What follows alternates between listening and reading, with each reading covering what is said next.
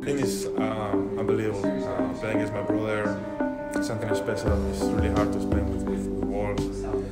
Uh, you know, having a brother playing NBA at the same time as you is, is, uh, is big. I think I feel really good to see him playing good, playing NBA. My family is they are very proud of us.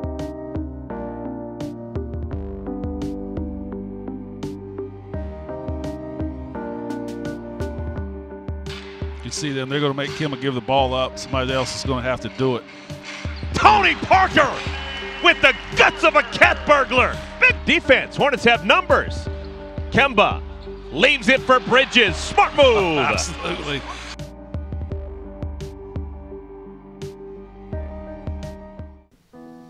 They're NBA team. They, um, you know, even though they're losing right now, um, they can turn around at any point, and we don't want to be the team that they do that on.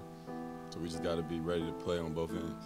Um, when you come into the league, you hear a lot of stories, a lot of stories of, um, you know, a lot of people don't be in the league long, and you just hear a lot of horror stories. But um, I came into the league with a lot of people that aren't in the league anymore, so it's um, a blessing to still be in the league, and um, you know, Reggie being a good friend of mine, see him doing good as well, it's, it's, um, it's a huge blessing. Uh, we have a great relationship. Actually, I was a rookie. He was a uh, he was in his second year, um, so he kind of um, helped me. Um, he kind of took me under his wing and helped me uh, learn how to be a professional. And um, it's always good to see him.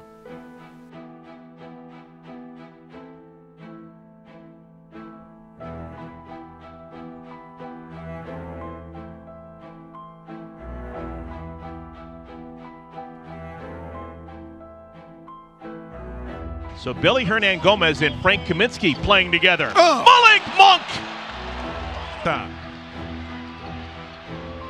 Lamb's gonna have to fire. Got it! Whee! Jeremy Lamb. Right when I, I bobbled it a little bit, I looked up at the time. I seen it was three seconds. And, um, you know, I knew I had to shoot it. I, I didn't really have time to, like, put it on the floor, so I just, yeah, I just shot it. I knew, I knew it was three seconds on the clock.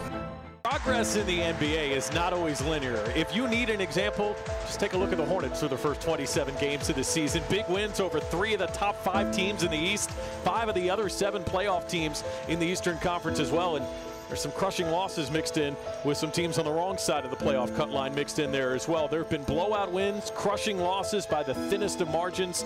And going into Wednesday night versus the Pistons, the Hornets had dropped three straight just once all year, but they had also failed to cash in on four two-game winning streaks. Well, the fifth opportunity arose on Wednesday night, and the Hornets found a way to get on the right side of the win ledger tied his career high in points.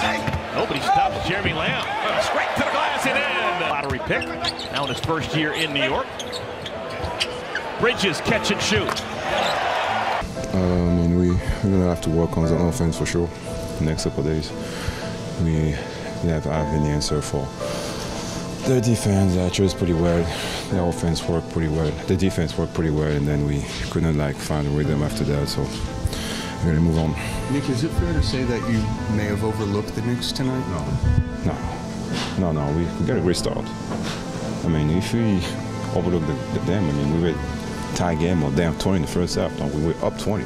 So we didn't overlook those guys. No, we know we beat them pretty well a couple days ago. It was the way we started the game. I mean, we were ready for them again. And then they make an adjustment on zone, and that's on us. I mean, they got to give them credit too. They play good defense on zone. Find, you didn't find any solution. Season thus far has provided as many twists and spills as an amusement park thrill ride. And through the first two months of the season, what we saw last night was a microcosm of it all. It was unpredictable on a Friday night at the Hive. The Hornets hung 72 points in the first half on the Knicks, led by 15 early in the fourth, and then a 21-point lead would dwindle, and the Knicks used desperation to fuel a comeback win in overtime last night. Tonight, the thrilling ride of unpredictability enters the next set of loops, hairpin turns. It's LeBron James, it's the LA Lakers, and the Hornets got to play the second night of a back-to-back.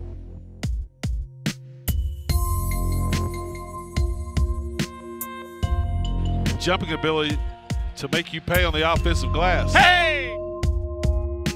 The four. Lamb. Hey, big shot!